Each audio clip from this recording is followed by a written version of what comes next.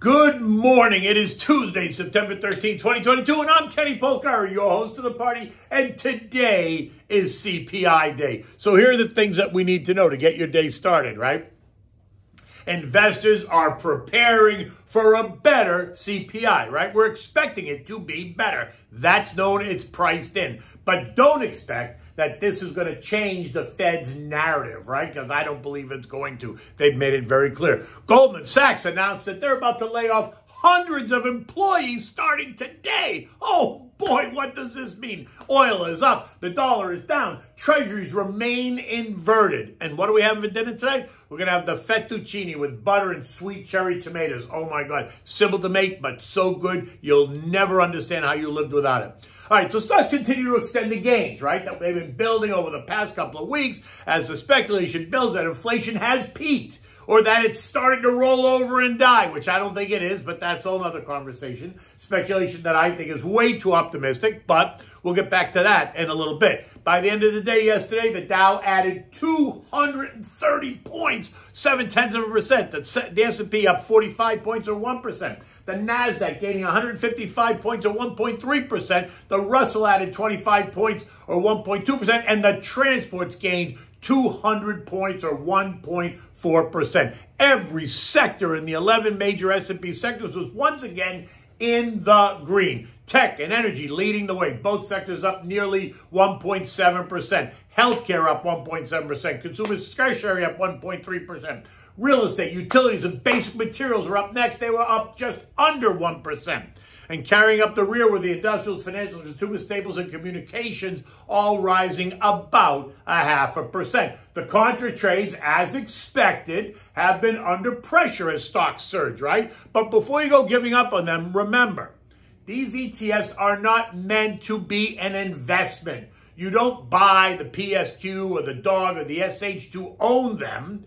You don't buy the SPXS, which is a triple levered S&P short, to own it. You use these ETFs strategically. You buy them to hedge yourself against what you think is coming weakness, if you believe the weakness is coming. And then you close out the position when you think it's over. Unlike the way you buy, say, Apple. You keep buying Apple. You keep reinvesting the dividends and then you buy more Apple. That's not strategic. That's smart investing. Yesterday, we also heard that Goldman Sachs is prepared to lay off hundreds of workers starting as early as today, citing a slowing economic environment and tougher times ahead for big investment banks. Estimates suggesting that Goldman Sachs will suffer a 40% decline in earnings this year. Now the question is, are the others going to follow suit? Think JP Morgan, Morgan Stanley, Wells Fargo, Citibank. I'm thinking you guys should get back to the office. That's what I think. I'm not sure what you're waiting for, but if I were you, I'd get, be getting back to my desk, you know, turning on my computer, letting people see me. It's a whole nother story. Anyway, next up today at 8.30, we're about to get the latest read on U.S. inflation. The August CPI read, and as I've been telling you, it's expected to be down it's expected to come in at 8% year over year, down from 8.5. That's great.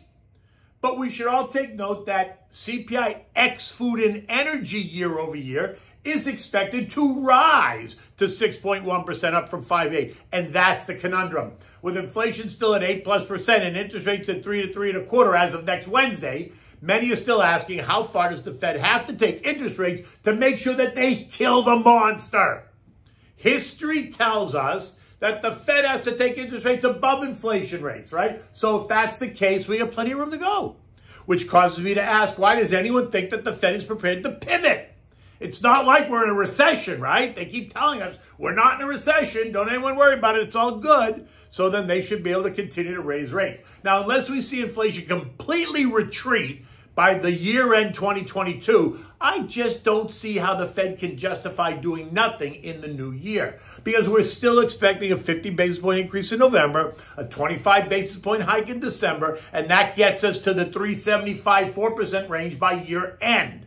But that's still a good 3 to 4% away from inflation which means we can expect continued increases into the new year. Remember what Kansas City Esther George said on Friday. There is a clear-cut case for continuing to remove monetary support. Now, to be fair, she didn't de define the time frame, She deliberately left it open, but that's a strategy play.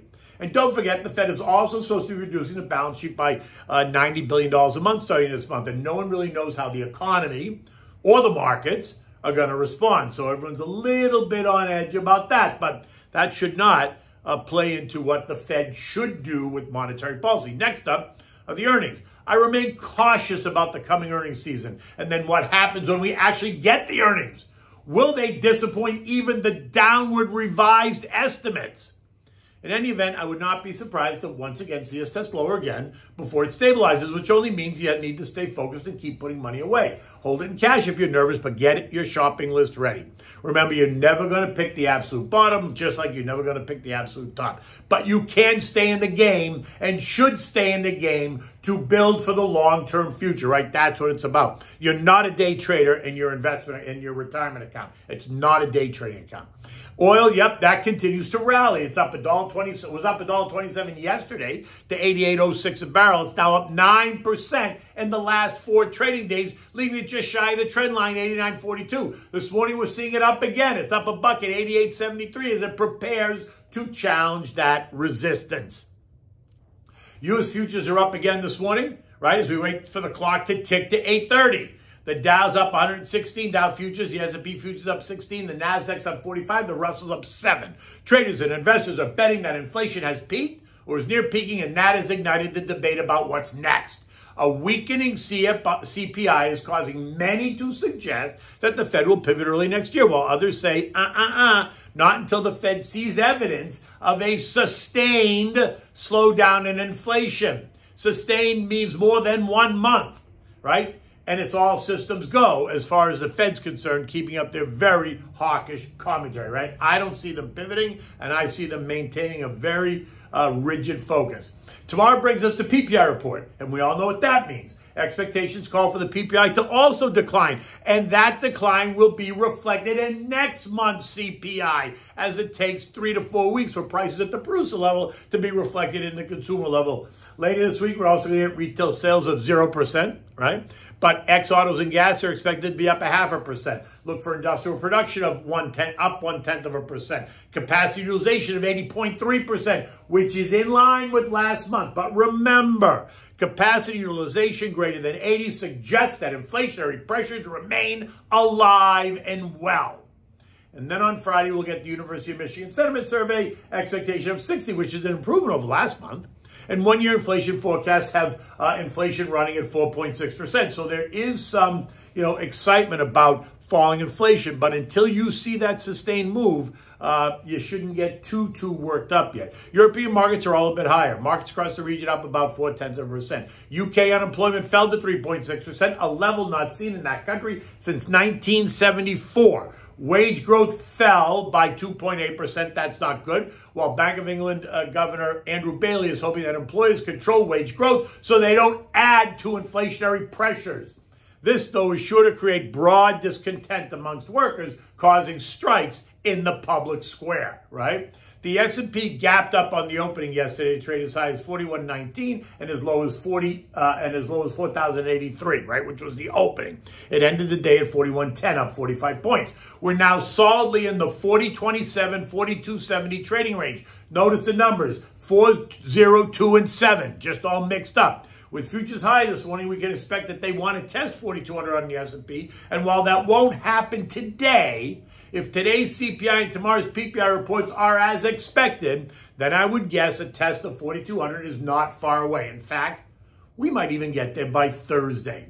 While I'm bullish on today's report, I remain cautious about the coming earnings. Is the Goldman news just the beginning of a round of layoffs in the financial services sector? We know that many of the tech companies are, are slowing down or pulling back from hiring. They told us that during the earnings season.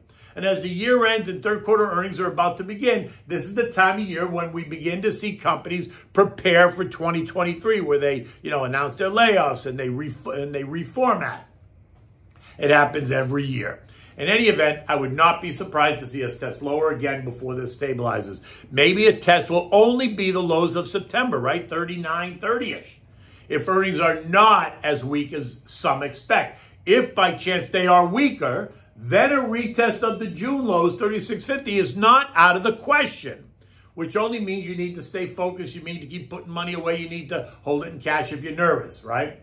But be ready. You know I am. I'm always kind of constantly investing, right? Because it is a long-term account. Remember, in an environment like this, I'm going to say it again, big and boring names in a nervous environment are beautiful and they offer shelter in the storm. So focus on the good, the solid U.S. mega cap names that are good divvy payers and then take advantage of the weaker prices, right? Sectors, again, to be overweight in, no matter who you are, would be energy, healthcare, utilities, consumer staples for sure. That doesn't mean you eliminate everything else. That just means you're overweight. But you have to balance that with who you are, right, in your life cycle. Younger, you want to take on more risk. Older, you want to take on a little bit less risk. Okay, so what do we have for dinner tonight? This is so simple, and you'll wonder how you ever lived without it. It's fettuccine with butter and sweet cherry tomatoes and, and onion and fresh grated Parmigiana cheese. Uh, it's simple. It's not really any more uh, difficult than that. So you need that. Plus you need um, uh, chopped parsley, chopped basil, and of course you need the fresh grated Parmigiana cheese, right? You need like three pints of cherry tomatoes. Now, you're going to bring a pot of salted water to a rolling boil and then turn it down to simmer on the back burner just so it's ready when you need it. You're not wasting another 10 minutes. While that's happening, you want to take the tomatoes, little cherry tomatoes, slice them in half. And then you want to dice your onion. You don't want to chop the onion, you want to dice it. Right? Now, in a large saute pan that's going to accommodate all the ingredients, you want to start by taking the stick of butter and melting it in the pan. Put it on medium high. Don't burn it and while the butter is melting, now you want to add in the diced onion and saute it until it's soft, right? It'll get all, uh, uh, it'll melt, you know, it'll come together with the melted butter. Saute it for five minutes. Now add in the cherry tomatoes, which you've sliced in half. Leave the heat on medium high and let them cook for about 20 minutes. You want to stay close. You need to stir so that they don't burn. In about 15 minutes, they're going to start to break down and become soft. Use the back of the wooden spoon to smash some of them while leaving the others intact. Now turn the heat up on the pot of water and add in the fettuccine. Cook it until it's al dente. Fettuccine will take about 10 minutes, but you want to leave it just undercooked because it's going to continue to cook in the saute pan once you mix it. Now, after you get that started, take a ladle of the pasta water after it's been boiling in the pasta, add it to the tomato sauce just to keep it moist, right? Because you, you'll see it might start to look a little bit uh, dry. Not dry, but needs a little bit of help. Now, when the pasta is ready, using a set of tongs, take the pasta out of the pot and put it right in with the tomatoes, right? You want to toss the pasta with the tomatoes so it's nice and coated. At this point, you might have to add two or three more ladles of the pasta water just to help it emulsify and remain moist, right? Remember, you don't want it wet. You just want it moist. Now, take it and serve it on warm plates and immediately bring it to your guests. Make sure you have plenty of cheese on the table um, to add with this dish, and then? And add the cheese while it's still nice and hot. Oh my God, it's so delicious. The cheese just kind of melts in there. It kind of gets creamy, cheesy. Oh, delicious. Enjoy this with uh, your favorite white wine. You know, you can drink a, a, a, like a Chianti, a light red if you want. I prefer this with uh, with my favorite chilled white wine. And you know what that is? Pinot Grigio Santa Margherita. In any event, uh, we are counting down till 8.30. And then tomorrow, don't forget, is the PPI. So two very important days. So until the sun comes up, and it's just about coming up now, until tomorrow, take good care.